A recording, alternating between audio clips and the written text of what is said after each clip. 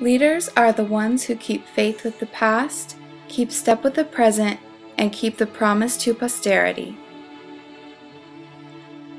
The phenomenon of leadership has been explored by academics and dreamers alike.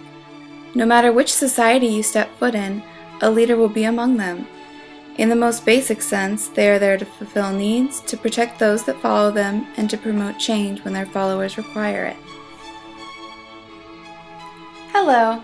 As my potential future employer, I thought I would share with you what I have come to learn about leadership and about myself through my personal experiences, respected theories on the subject, and inspiring words of wisdom I have taken to heart. Take a look. Growing up as the firstborn in my family, I was always recognized as a natural leader the responsible one, the smart one, the logical one. My grandma once gave me a magnetic picture frame with my name on it that says, From the delicate flower Alyssum, she is an active and sensitive person who is a natural leader. But why? What did I do to gain such opinions about my character? The trait based theories of leadership explore this, defining leadership as a manner of behavior in which those born with a certain set of traits can exhibit it. That leadership was written into their DNA.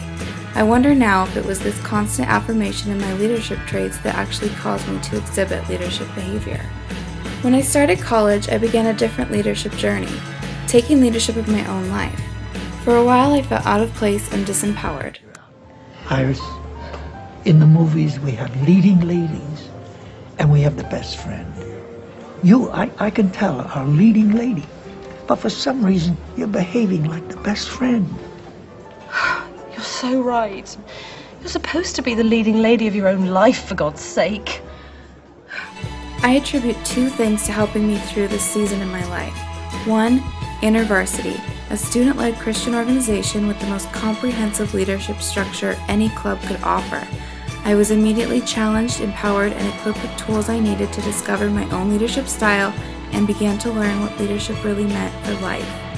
InterVarsity brought me past my insecurities and self doubts through community, my co leaders. By building each other up, we became stronger. All the principles of servant leadership are core to InterVarsity's leadership development curriculum listening, empathy, healing, awareness, persuasion, conceptualization, foresight, stewardship, commitment to the growth of people, and building community. Serving in that community as a new leader and eventually president of the organization opened my eyes to new perspectives of leadership and taught me to be a servant leader. And two, studying abroad. My experience traveling to Spain for a semester taught me a great deal when it came to being the leading lady of my own life. It was through this experience that I learned about authentic leadership.